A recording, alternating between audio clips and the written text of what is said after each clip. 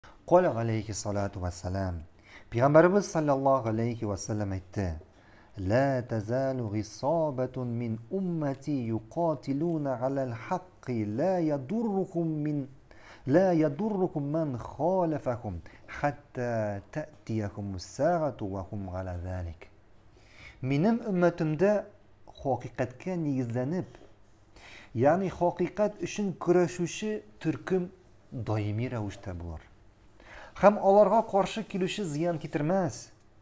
Бу хәл кыямәт көне килеп җиткәнчегә хәтле булыр, барыр һәм алар хакыйкатьтә булырлар. Бу хәдистән күрәбез, димәк, гел бу дөнья булган вакытта гел даими рәвештә хакыйкатьтә булучы, хакыйкать өчен көрәшүче төркем булачак. төркем булачак. Һәм шулай ук бу төркемгә каршы килүчеләр булыр. Сүгүчеләр булыр. Алар белән көрәшүчеләр булыр.